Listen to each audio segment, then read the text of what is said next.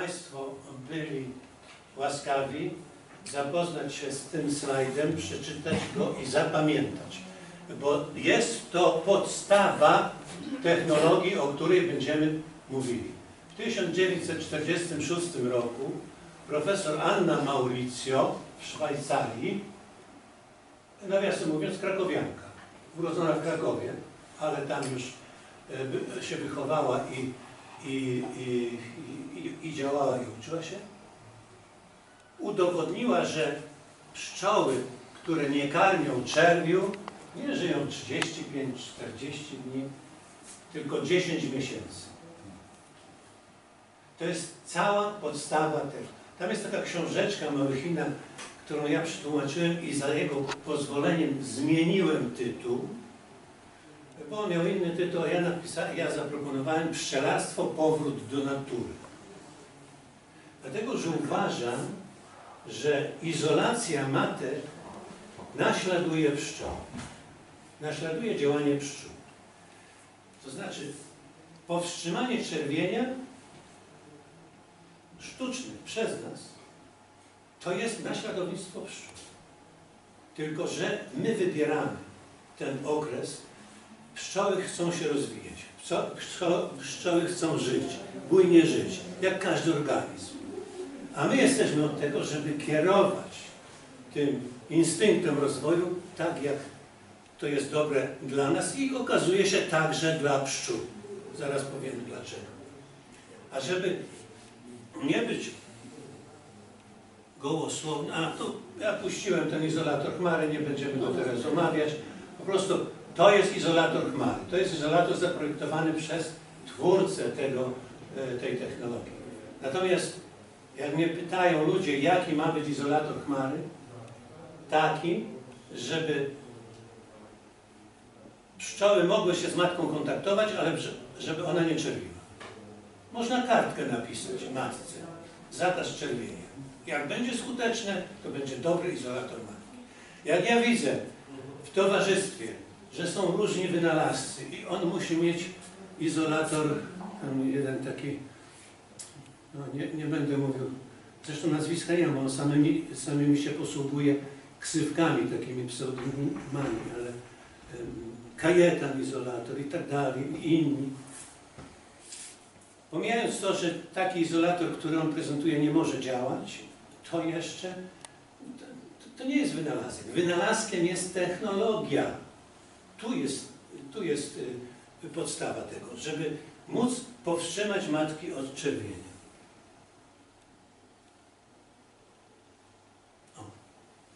U mnie są takie ruliki, prawda fajne? Bo łopatą można zbierać.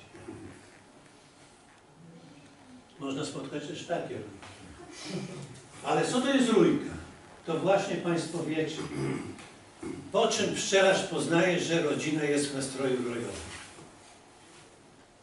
Przestają pracować i pojawiają i, i, i, i nikną, nie widać jajeczek. Matka przestaje czerwieć.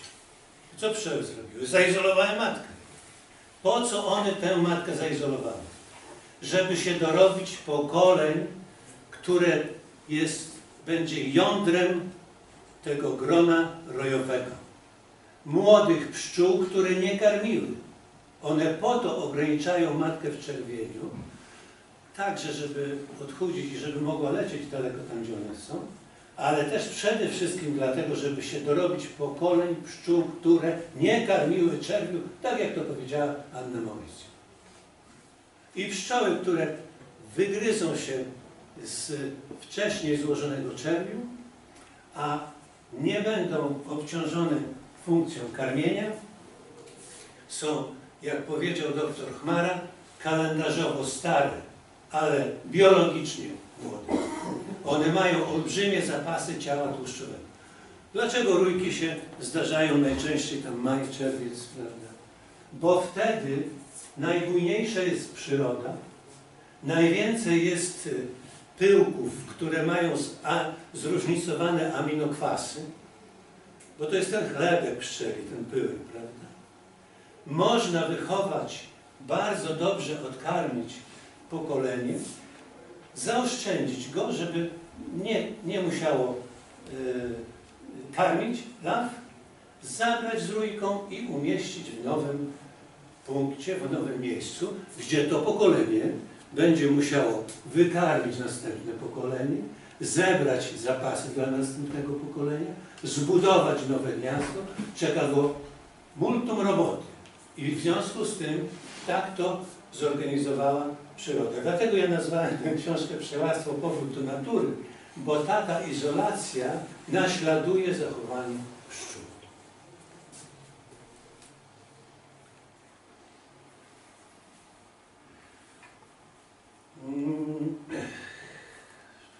W czasie tuż po, po tej epidemii koronawirusa w sądeckim Batniku nie było takich y, zwykłych, no, tylko były drzwi otwarte, drzwi otwarte sądeckiego Batnika i tam było dwóch prelegentów, profesor Olszewski z Lublina i profesor Chorbiński z Wrocławia. E, Najpierw był profesor Olszewski, który powiedział, że jego zaprzyjaźniony pszczelarz od wiosny, chyba od rzepaku do jesieni skarmił 50 kg cukru na jedną rodzinę. Profesor Chorbiński mówi po nim i mówi, no ja tym, tym się nie mogę podpisać, ale w pasiece uczelnianej skarmiłem na jedną rodzinę 25 kg cukru. Proszę Państwa, wcześniej, kiedy nasi pradziadowie pszczelarzyli, inne były pożytki, inne były warunki, inaczej się pszczele. W tej chwili ja miałem takie lata, że w jednym czasie kwit mniszek, akacja i coś jeszcze.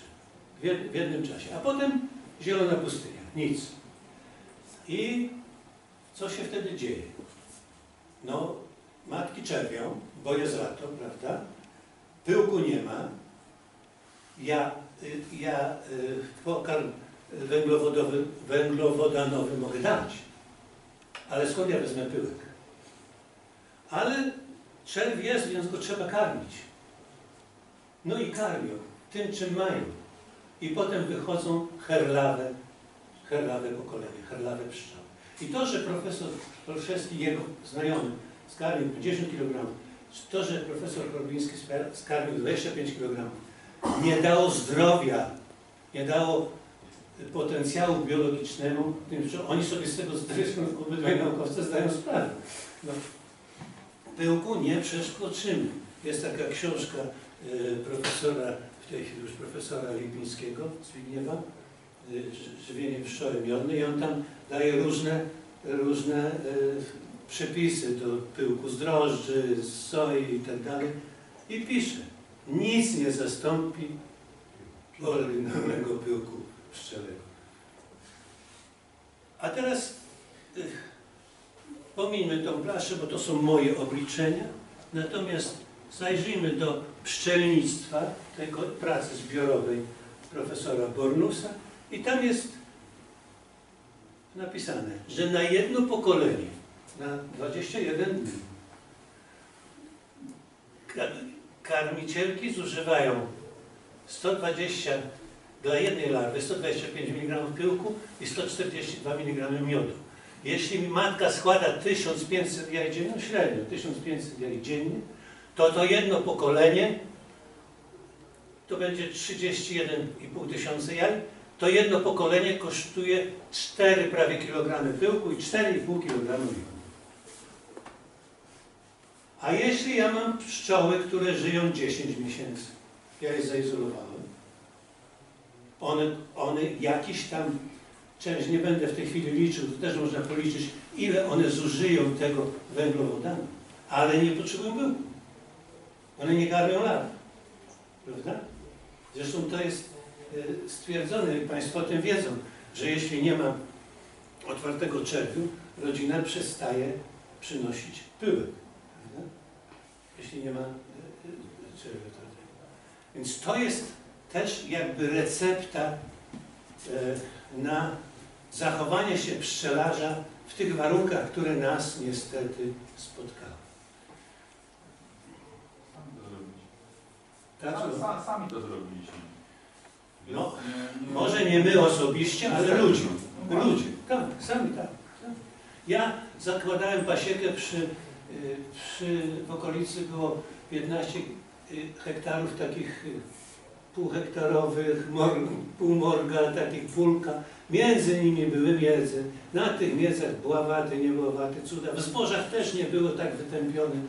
Chwasty były bławaty. Ja nie mogłem sobie poradzić z pszczołami. Chodziłem, prosiłem ludzi, weź, weź, weź sobie, bo, ja, bo jak mnie to mi się wyroją. Ja w tej chwili mam w sąsiedztwie na tym polu, w najlepszym wypadku, no, na tych 15 hektarach, w najlepszym wypadku przężyto, a w najgorszym kukurydzę genetycznie modyfikowaną 810. A Państwo wiecie, że ta kukurydza wytwarza pyłek, który jest insektycydem, ona się chroni przed swoim szkodnikiem tym samym. Pszczoły ten pyłek zbierają. Ja nie widzę objawów zatrucia, bo one nie giną. Pszczoły nie giną, dorosłe. Tylko zbierają ten pyłek, karmią, robią z tego pierzgę, karmią tym larwy. I te larwy zamiast żyć te inne 40 dni, żyją 10 dni, 15. I co ja mam zrobić? Wiadomo, że nie wolno stosować 800, siać 810 kukurydzy, ale sprytny rolnik w tekstę przywiezie z Niemiec. Jak ja powiem, gdzieś doniosę, prawda, to jego rzeczywiście ukażą, ale on Michał pospali.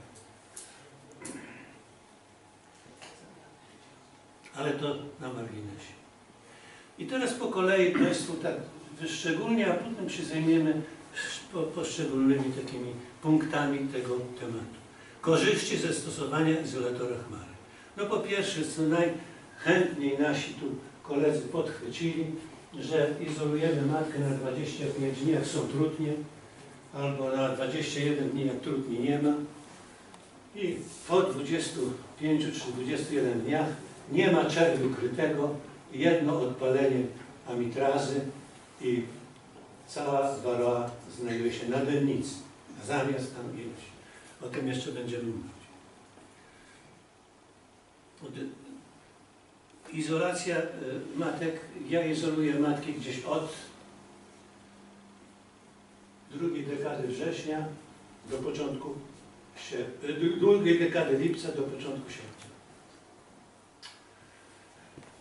I w ten sposób uniemożliwiam szkodliwe y, czerwienie. Państwo wiecie, że tej chwili nie ma się co cieszyć, że mamy y, ramki pełne czerwiu.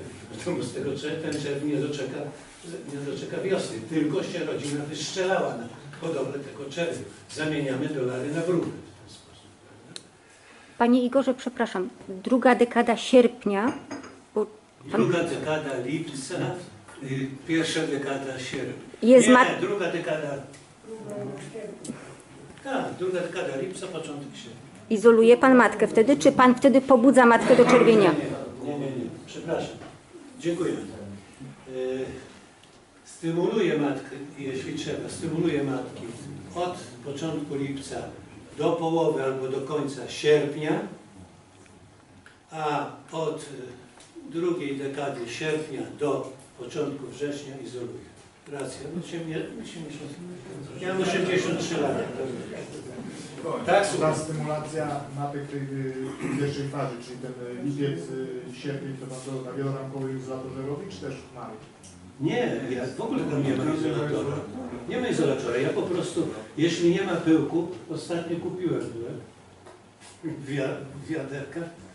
Kupiłem pyłek i wcześniej robiłem coś takiego, co podaje to, to profesor Lipiński w tej książce, o której wspomniałem, Żywienie pszczoły miodowej. To znaczy, bierze się, nie podam proporcji, jak Państwo będziecie chcieli, proszę mi napisać, bierze się pyłek, e, bierze się miód w odpowiednich proporcjach, dodaje się e, te lekarstwa, co są po antybiotykach, lakt, e, e, takie probiotyki, tak? Dodaje się, tak jak w nie? I zamyka się szczelnie, przez 10 dni trzyma się temperaturę 32 stopni, a potem się obniża na dwa tygodnie do 28 stopni. I wychodzi pierzga. Ja normalnie postałem pierzgę. Proszę mi przypomnieć, o czym mówię. Aha, nie, i taką wieżgę, taką zrobioną wieżgę, biorę suszu plaster, łopatkę, nakładam i proszę, daję, daję, daję. Każda rodzina o tej porze musi mieć wieżgę. No chyba, że jest taki rok, że one sobie zebrały i sobie mają, na przykład. Ja wiele rzeczy biorę od pszczół, biorę y, mleczko pszczele, biorę z motylicy y, te odchody, tak, tam jest taka książeczka. Nalewkę robię, nie biorę pyłku. Nie biorę, bo po prostu one mają za mało dla siebie. Ja nie mam, nie mam sumienia. Nie. Mam wyławiacze pyłku, owszem, nie zbieram. Bo w moich warunkach, ja mam w tej chwili pasiekę stacjonarną, bo w tym wieku, w moich warunkach, no nie, nie mogę sobie pozwolić na odbieranie pyłku.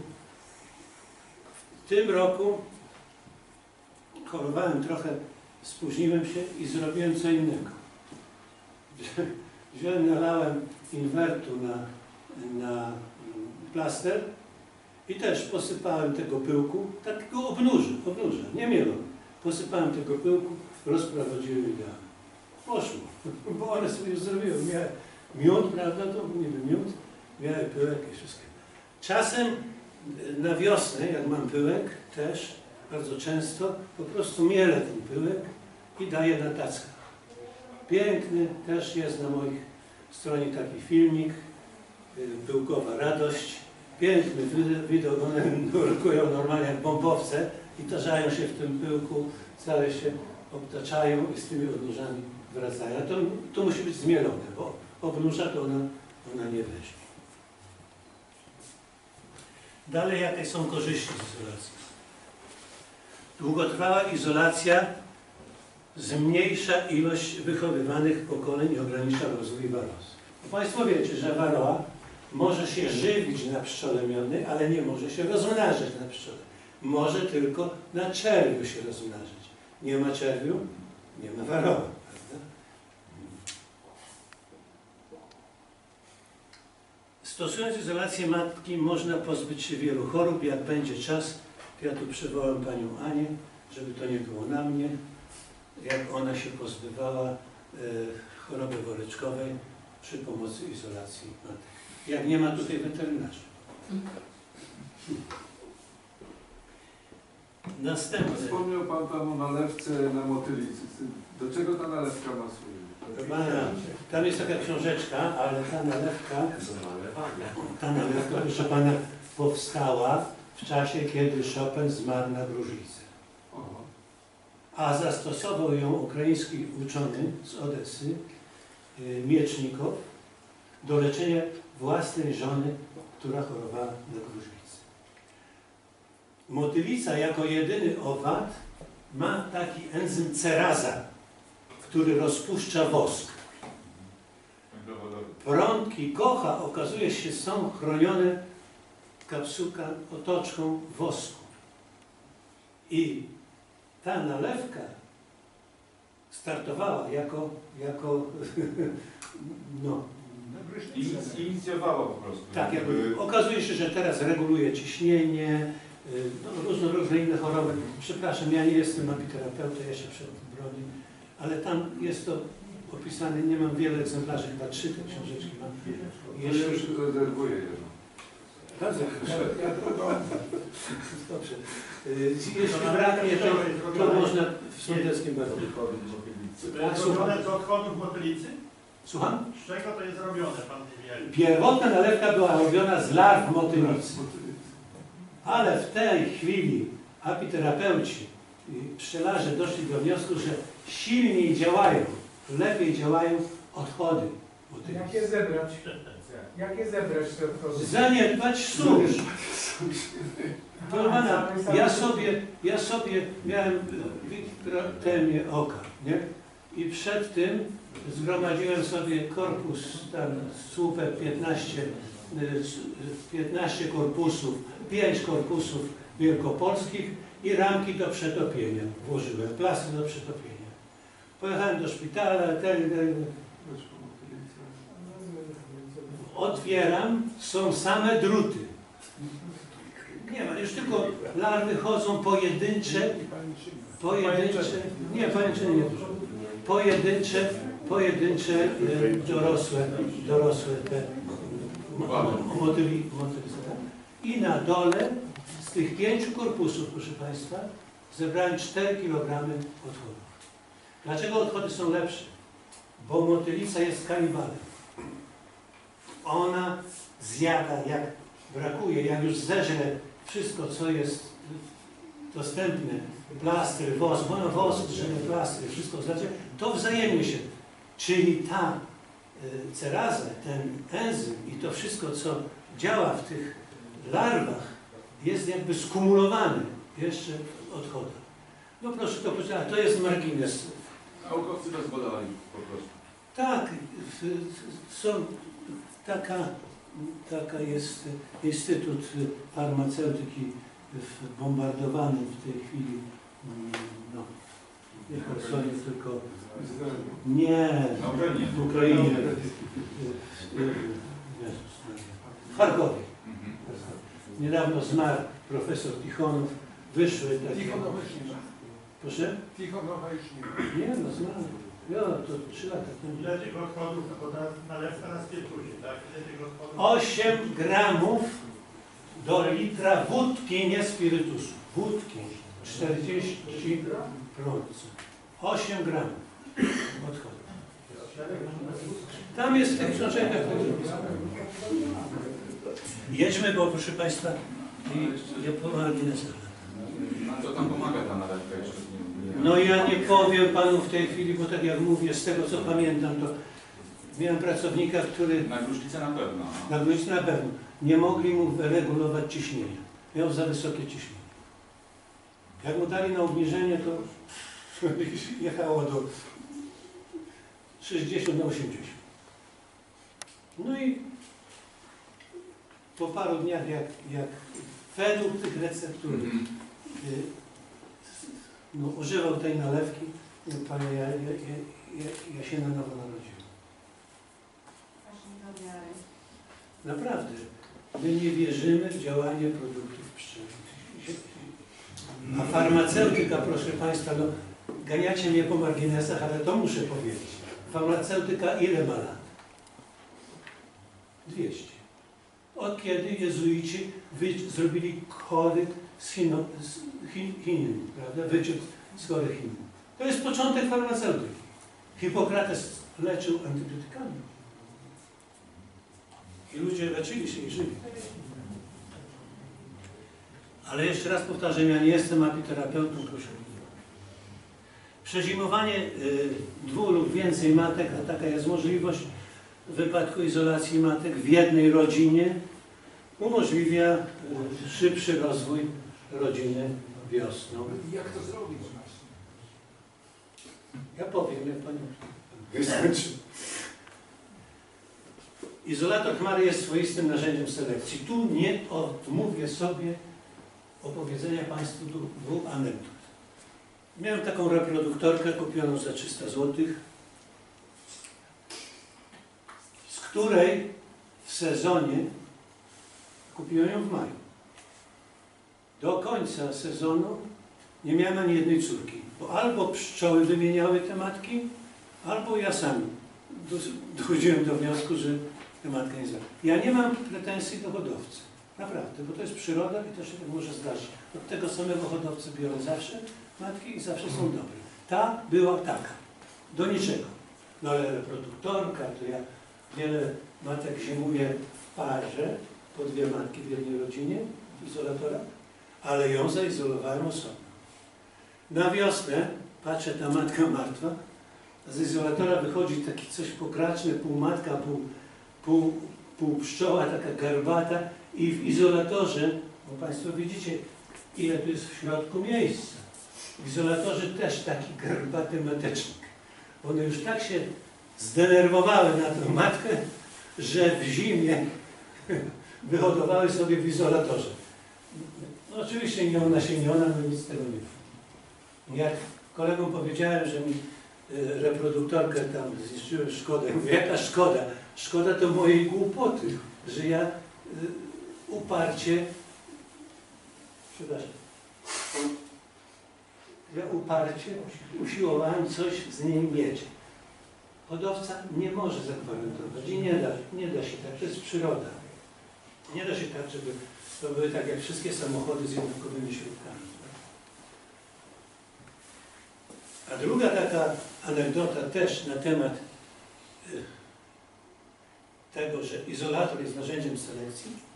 Miałem matkę y, wiele, wiele lat temu, kiedy jeszcze wierzyłem, że matki należy wymieniać co dwa lata. No i była taka matka dwuroczna, której ja po prostu nie miałem sumienia, jak to się mówi kolokwialnie, wycofać, czyli urwać łapę. Nie miałem sumienia, mówię. I hipokryta, mówię, czekaj, ja cię tu zaizoluję z taką, która się unasieniła w lipcu. I sprawdziłem to czerwienie tej unasienionej w lipcu. Pięknie czerwione. Zaizolowałem ją w jednej rodzinie. Na wiosnę ta młódka martwa, a ta staruszka chodzi. Przeżyła następny sezon, na następną zimę zaizolowałem ją już osobno. Przeżyła jeszcze jeden sezon, czyli czwarty, prawda? I dopiero na przełomie maja i czerwca zrobiły cichą wymianę i córka była taka sama. Jest pytanie, kto ma wybierać matkę? Pszczoły czy pszczelarz? Ja nie mam nic przeciwko tej teorii, że matki mają być młode i tak dalej. Ale to jest taka troszkę na skrót teoria. Po oczach nie poznasz matki jako. Tylko I to jest na temat funkcji takiej selekcyjnej izolatora. Oczerwienie e, w razie potrzeby w jednej rodzinie dwóch matek przyspieszy rozwój. Zamykając matkę przed pożytkiem zwiększamy zbiór o 50%. Ja mam tu przygotowaną prezentac- w prezentacji. U, u, graficznie to uzasadnimy, tylko że y, od razu zwrócę uwagę na to, że znacie Państwo taką metodę taranową. Żeby zwiększyć pożytek, trzeba 51 dni przed pożytkiem stymulować matkę, a 20 dni przed pożytkiem zamknąć na dwóch, na jednym, na dwóch plastrach. Rzeczywiście wtedy mamy 50% więcej. Ale 51 dni ja mam wiedzieć, kiedy będzie pożytek. W tych warunkach, które nas teraz spotkały, ja nie, nie, nie pod- podejmuję się na to odpowiedzieć. Nie ma takiej możliwości, że ja 51 dni wiedział. co. Natomiast jak użyję z izolatora chmary, to ja przed pożytkiem 10 dni, jak zamknę matkę, 9 dni przed pożytkiem w co się stanie? Wy, zasklepi się cały czerw e, otwarty. Nie ma kogo karmić. Wszystkie ręce na pokład. Zmieniłem strukturę rodziny i dalej mam 50% większy zbiór miodu. Prawda?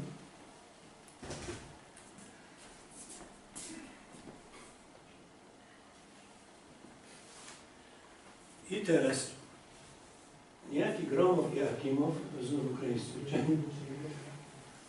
udowodnili, że jeśli waroa straci 10% swojej wilgotności, to jej przylgi nie działają i ona odpada z pszczoły. A jeśli traci 15, to nawet jak jest na pszczotym, nie potrafi zassać tego ciała tłuszczowego, czy co tam. I ginie z głodu. Moi koledzy w Ukrainie i ja też tu w Polsce stwierdziłem, że w rodzinach, no mam jedną pasiekę na jednym toczku, prawda? W rodzinach, gdzie zaizolowałem matki, powiedzmy w połowie sierpnia, był znacznie mniejszy osyp waroa niż w tych, które były izolowane na początku życia.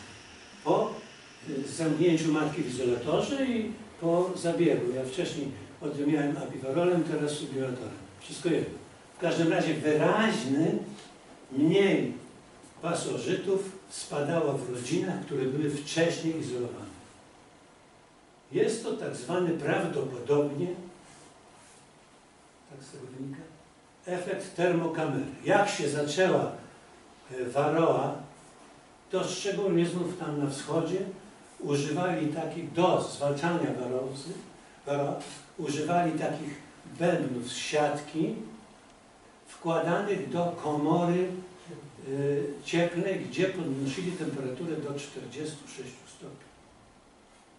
Pszczoły tę temperaturę znoszą, więc wsypywali do tego bębna pszczoły i kręcili. Pszczoły tę temperaturę znoszą, natomiast waroła im odpadała. I oni uważali, że ta temperatura te waroła zabija. Ale przecież tam znacznie spadała wilgotność. I w świetle tych badań Hakimowa okazuje się, że to nie temperatura niszczyła te, te pasożyty, tylko e, susz, susza, spadek wilgotności. Po prostu one, one, e, one spadały na tym. Jeśli teraz ja zaizoluję matkę we wrześniu, no co ja piję, przepraszam, w sierpniu, połowie sierpnia, po 21 dniach nie będzie żadnego czerwiu prawda? Jak jest czerw, pszczoły mają mieć temperaturę w ulu 3 34,5 stopnia. A jak nie ma czerwiu, po co się wysileć? Im jest dobrze w 40 stopniach. Jeśli jest sucha pogoda, wilgotność z zewnątrz spada. Tak jak w tej termokamerze. Podobnie. I ta waroła ginie. I stąd to zjawisko, że wcześniej izolowane, rodziny z wcześniej izolowanymi matkami pozbywały się samoczynnie. Ta waroła spadała.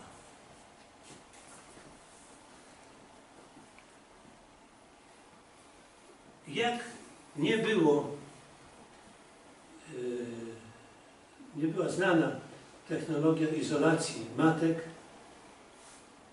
natrafiłem na przykład na taki, no ja to opisywałem w pszczelarstwie, na taki, na taki stan.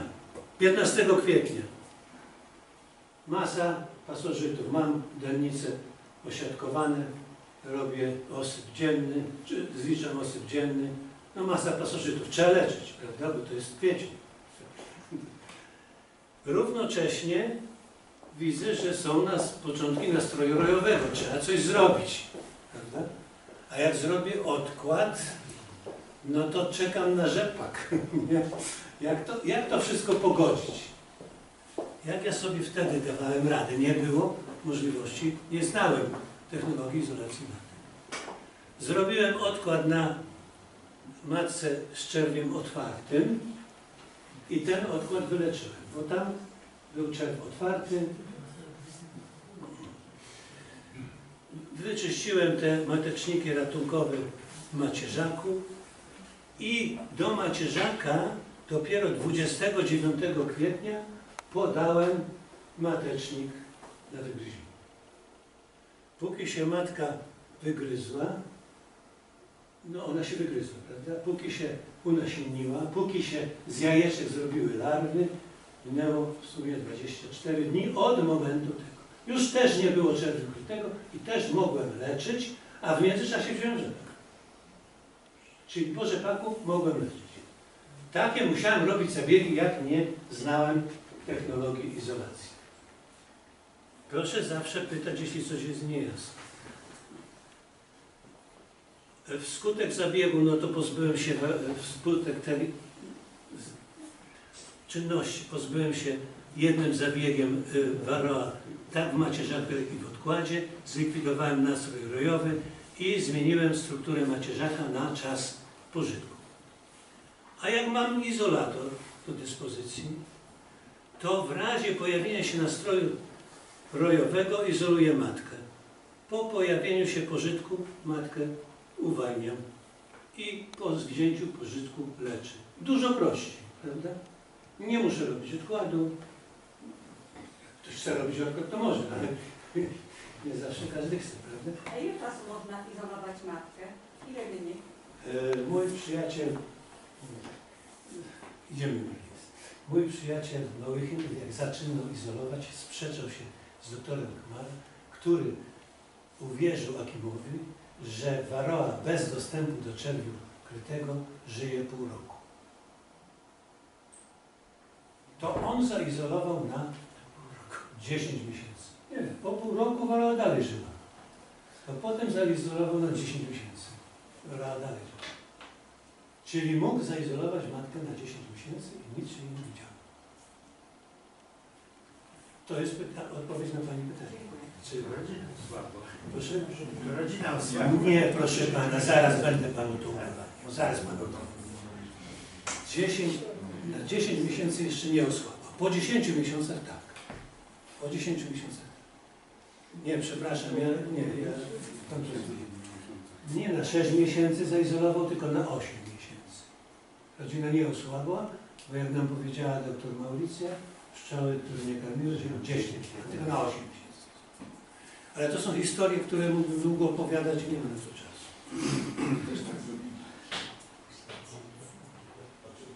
Teraz, jak się tu pojawiła ta, dzięki mnie, pojawiła się ta metoda, spotkaliśmy się, no nie powiem, że z wiadrem pomyj, ale mój osobisty kolega w, w tym, w kole, ja mu powiedziałem, że ja izoluję wszystkie matki w tym roku i, przekonał mnie, wtedy jeszcze doktor Mary jeszcze żył w Sądeckim Parku, bo wysłuchałem jego wykładu. Ja mówię, ja izoluję wszystkie matki. Zrobiłem sobie izolatory, bo jeszcze nie, nie było tych izolatorów. Idiota, pasiekę stracisz, pierwszy krok do wyniszczenia pszczół i tak dalej. Za dwa lata on mówi, ja, ja, ja będę izolował matki, tylko ja sobie zrobiłem lepszy izolator. Jakie ty sobie zrobiłeś? Skraty metalowe. Ja mówię, to ty jeszcze wcześniej w sypialni wywal taką dziurę na zewnątrz, 20 cm, włóż tam rurę, która będzie między tobą a żoną w łóżku i spróbuj to ogrzać. No to, wie pan, to, to są, Pszczoły nie lubią metalu. ale na polu jest 15 Ale stopni. pszczoły nie lubią stali. No oczywiście, a poza tym na polu jest minus 15, prawda? W kłębie musi być plus 15, jeśli nie ma czerwiu, tak? Czyli mamy gradient temperatury 30 stopni, a, a izolator, a kłąb ma 25 cm w silnej rodzinie, tak? A tutaj jest 35 cm. Czyli te druty wystają po 5 cm z każdej strony i są w temperaturze prawie minus 15. I ta temperatura minus 15 wchodzi w, w środek. To nie to, że lubią, to marzną. No, jak to, jest dobrym przewodnikiem. no, no kto to ogrzeje? No, ale wie pan, ja się nie chcę śmiać. Yy, I, I potem się pojawiły takie opinie, bo jestem chyba w Mińsku Mazowieckim i wstaje kolega i mówi, wie pana, tu do nas przyjeżdżają naukowcy na wykładzie i taki pan mówił, nie powiedział który, zresztą nie pytałem, i taki pan mówił, że jak się matkę powstrzyma w czerwieniu, to ona, tak jak krowa, przerywa laktację. No pan się uśmiecha.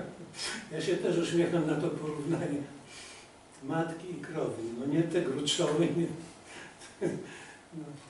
E, W szczęśliwie minionym Związku Sowieckim najbardziej popularną linią pszczół była Karpatka. Karpatka jeździła z Mukaczewa, tam pod Użorodem, do Archangielska. No wprawdzie pocztą lotniczą, ale póki dotarła pocztą lotniczą z Mukaczewa do Lwowa na lotnisko, z Lwowa do Moskwy na lotnisko, z Moskwy do Archangielska na lotnisko, z Archangielska, z lotniska do Pasieki mijały dwa tygodnie. Proszę? Dzisiaj się jeden dzień robi, w zasadzie z 8 godzin tylko daje. Dzisiaj? Chyba, że tą rakietą, co Moskwa leci. Nie, no samolot nie leci tą odległość. Proszę? To nie jest wina taki system, jak pan mówi. Koleją by pewnie dwa lata jechać. No to, ale, ale ja mówię o tym, że ta matka z tymi pięcioma pszczółkami była zamknięta w absolutnie obcym środowisku przez wiele, wiele dni. I przelatywały, i wszystkie przeważnie podejmowały czerwienie. A jaka jest różnica między zamknięciem takiej matki w klateczce wysyłkowej z pięcioma pszczółkami, a zamknięciem jej w takiej izolatorze, gdzie obok jest jeszcze czerw otwarty, która ona złożyła, czerw kryty, cała jej rodzina. To jest, proszę Pana, taka różnica jak między, nie wiem, to jest taki kryminał w, w, w Sztumie, prawda, a w areszcie domowym. Taka różnica. Następne, w mojej obecności na konferencji pszczelarskiej w Krakowie, na konferencji zorganizowanej przez Stowarzyszenie Pszczelarzy Krakowskich, pan Marek Podleski mówi, z izolacją matek jest tak, że jedna trzecia matek nie przeżywa zimowli, jedna trzecia przeżywa, a nie podejmuje czerwienie, tylko jedna trzecia przeżywa i podejmuje czerwienie. Obok mnie na konferencji, tak jak tu Państwo siedzą koledzy, którzy tak jak ja izolują matki, którym przeżywają matki podwójnie zaizolowane w jednej rodzinie. Fakt, że często, znaczy często, często, no, 5% powiedzmy, no powiedzmy 10% matek zaizolowanych w parze, to tam jedna nie przeżywa. Dlatego, że pszczoły wyczuwają spadek feromonów. Matka zamknięta w izolatorze przestaje czerwić, jest mniejsza emisja feromonów. Jeśli matka jest słaba, to ta emisja jest jeszcze mniejsza. A obok jest matka silna, to pszczoły sobie nie będą zawracać głowy tym herlactwem, tylko zaniedbują ją, ona się nie może żywić i przeżywa. Ale nie wiem, jak myślę. I taki doktor Hobbes, bardzo sympatyczny, młody doktor, którego poznałem, wymieniliśmy się prezentacjami i tak dalej, też gdzieś na jakiejś konferencji powie- powiedział, że tylko 16% procent zaizolowanych matek przeżywa zimę. Mogło się zdarzyć. Mogło się zdarzyć tak jak po pierwszym roku izolacji dzwoni do mnie, nie będę mówił nazwiska, yy, zaprzyjaźniony pszczelarz mówi, no jak Ci tam ta izolacja, jak te matki przeżyły? Ja, ja wtedy zaizolowałem chyba 30 matek, z tego 5 w, pa, w parze. I z tych pięciu w dwóch parach właśnie jedna nie przeżyła. A co ty opowiadasz w, pasiece zawodowej 60 600 rodzin, y, zaizolowali 60 matek i 20 tylko przeszło. Ja mówię, no nie wiem jak. Minęło chyba dwa lata i jeden pan, którego ja bardzo szanuję, bardzo mądry pszczelarz, bardzo zasłużony pszczelarz i tak dalej. Panie, panie, bo ja mam do pana pytanie. Bo ja zaizolowałem 60 matek tylko mi 20 przeżyło. No ale ja mówię, ja nie wiem dlaczego, bo mnie przeżywają. Ale jakie pan ma ule? Gadam. A na ilu ramkach pan zazimował? No na 12. No jak on dał izolator, zostawił 12 ramek, dał na przykład 15 kg inwertu. No to one rozłożyły równo na, na, na, na wierzchach tych. Zjadły to, co było i poszły. Poszły w bogi matki. I jak ja powiedziałem, na ilu ramkach, na ilu ramkach pan zazimował? I ja byłem głupi, mówi, od razu się zorientował. To mądry człowiek tylko. Tylko, że każdy może popełnić błąd. To nie o to chodzi. Każdy może popełnić.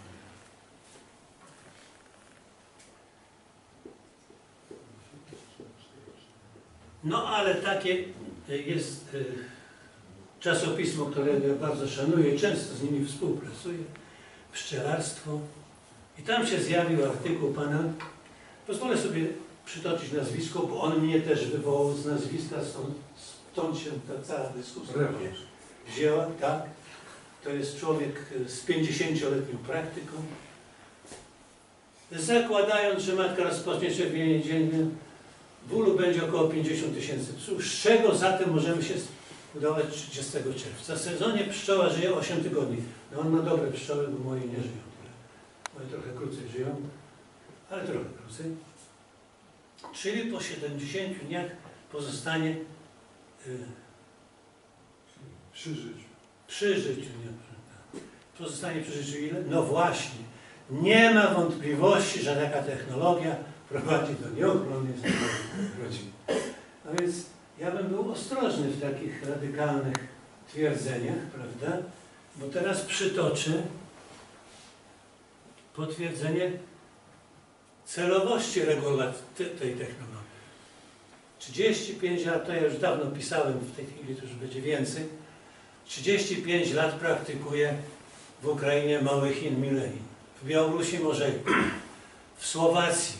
Zachwycili się izolatorami w Turcji, rozmawiam z Kaszterewiczem, po 5 tysięcy izolatorów wysyła do Turcji, do Włoch. Bo tam jest problem z, tą, z tym przedłużonym czerwieniem. To nie o to chodzi, że jest ciepło, ale już pożytku nie ma. No z czego to wykarmić? Pyłku nie ma. To, co mówiliśmy na początku. Więc tu jest izolacja w samym. W Turcji, w Gruzji profesor Wilde wspólnie z, tam gdzieś w Europie robił takie badania. Skuteczna walka z Varroa w Europie przez letnią przerwę w czerwieniu. No i w pszczelarstwie tutaj się poch- powołam. Artykuł Jakub Gąbka, Joanna Gąbka, Pszczelarstwo w 2020 roku. Jest artykuł Stosowanie izolatora chmary w okresie jesienno-zimowym. No, Moja skromna 12-letnia praktyka. Państwo Gąbka napisali wszystko to, co ja mówię. Oprócz jednego. Mi wyszło z moich obserwacji, ja nie mogę powiedzieć, ja prowadziłem badania, bo ja nie jestem naukowcem i nie mam do tego warunków, ale z moich obserwacji wynika, że matka wypuszczona z izolatora w rodzinie, gdzie matka została wypuszczona z izolatora, po 45 dniach jest trzy razy więcej czerwiu niż w takiej, gdzie matka była izolowana. A u nich wyszło, że tylko 30%. I ja wierzę im. Ja wierzę im, dlatego że oni przez 3 lata robili skrupulatne badania na 78 rodzinach. Więc więcej materiału, bardziej profesjonalne badania i na pewno ich badania są yy, Bardziej wiarygodne. bardziej wiarygodne. Tak. A niemniej, proszę pamiętać, że też to zjawisko, że matka wypuszczona z izolatora czerwi żywioł.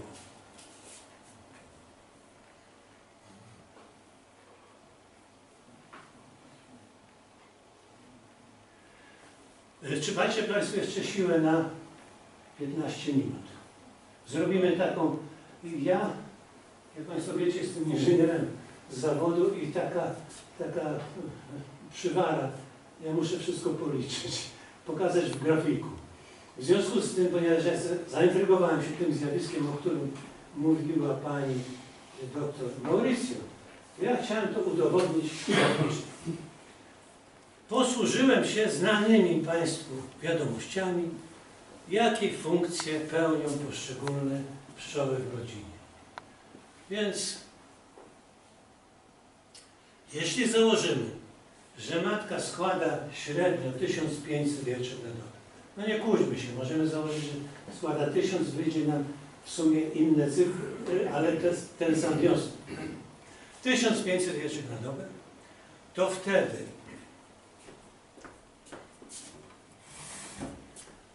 jedna taka kratka to jest 1500 jajeczek. No, czy jajeczek, czy tam dalej pszczół i tak dalej. A w tą stronę, na osi poziomej, to jest jedna doba. Później zobaczycie.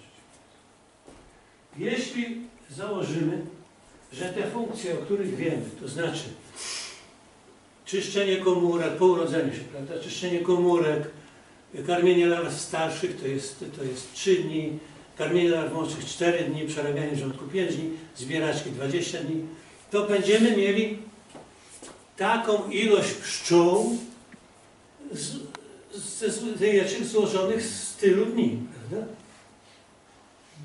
To jest zrozumiałe. Dobrze. Idźmy dalej.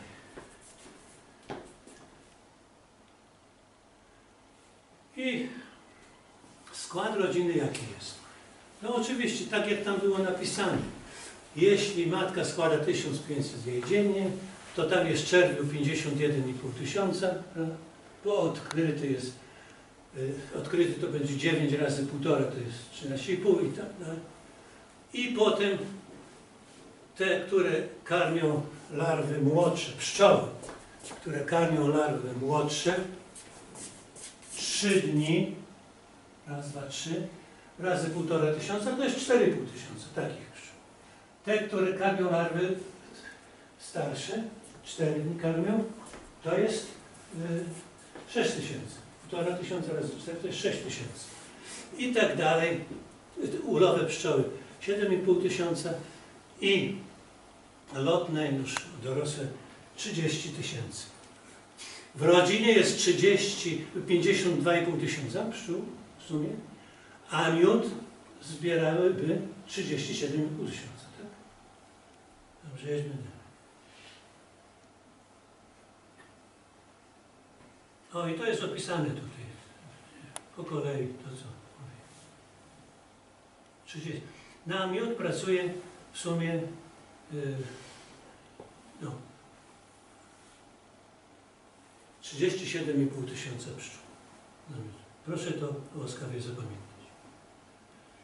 Po trzech dniach po izolacji już się nieco struktura rodziny zmienia.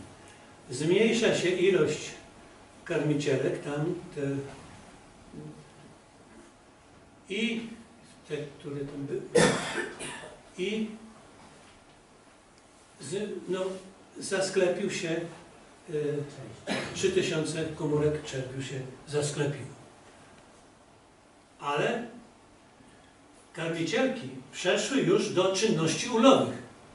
W związku z tym tam jest 7,5 tysiąca i 33 tysiące tych pszczół, które mogłyby zbierać miód. Czyli nie 30, tam 7,5, tylko 40,5 tysiąca. Taka jest tendencja, prawda? Jedźmy dalej.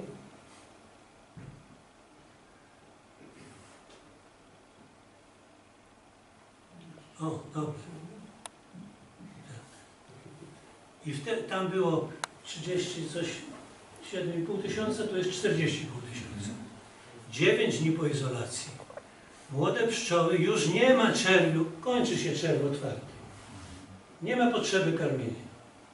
Młode pszczoły, które skończyły, oj przepraszam, młode pszczoły, które skończyły funkcję karmicielek, przeszły do pszczół ulowych i do pozyskiwania miodu mamy 51 tysięcy pszczół. 21 dni po izolacji, proszę zobaczyć, co się dzieje. Proszę zobaczyć na ten fragment, tam, tam wykresu u góry, tam jest koniec czerwca otwartego i jeszcze 9 dni pszczoły wymierają, prawda? Jest taka, idzie to w dół, ilość pszczół. Ale jak minie 10 dni, pojawiły się pszczoły, które nie karmiły czerwiu. I ta kreska jest pozioma. Pszczoły przestały wymierać. W związku z tym mamy już teraz w rodzinie 58,5 tysiąca pszczół, takich, które nie karmiły czerwiu, które mają żyć 10 miesięcy. Wszystkie są fizjologicznie młode i w dowolnym czasie, kiedy potrzeba, mogą się podjąć każdej funkcji, także karmienia. Ale zbierają, wszystkie są gotowe do zbioru miodu. Ale czy jest taka sytuacja, ja się troszeczkę może nie bo jest taka sytuacja, że jak pszczoły zaczęły zbierać lód, one będą słabiej karmić larwy następne, nie? A skąd te larwy się wezmą? Ale skąd te larwy się wezmą? A jak przyjdzie okres, gdzie ma, matkę pan wypuści, to muszą być pszczoły młode, które będą dawały dużo tego. Pan nie uważał, ja na początku powiedziałem, przepraszam Pana, to co powiedział doktor Chmara. Pszczoła, która nie karmiła larw, ma żyć 10 miesięcy i zachowuje cały potencjał biologiczny. I ona jest kalendarzowo stara, ale fizjologicznie młoda. I ona w każdej chwili ma tyle ciała tłuszczowego, bo do karmienia larw pszczoła zużywa ciało tłuszczowe.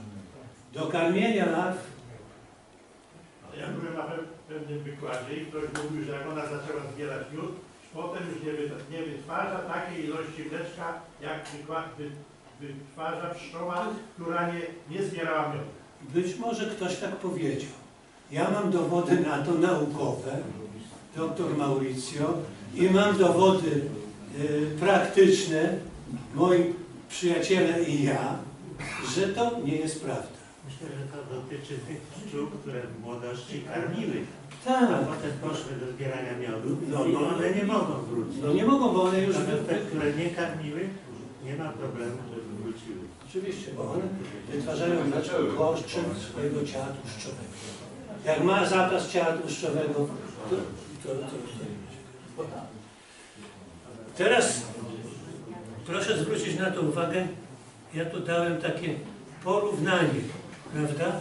Z lewej strony jest początek, wtedy, kiedy matka nie była izolowana i przy zbiorach pracowało 37,5 tysiąca pszczół i koniec, kiedy przy zbiorach pracuje 58,5 tysiąca pszczół i nic innego nie robią. Nic innego nie robią.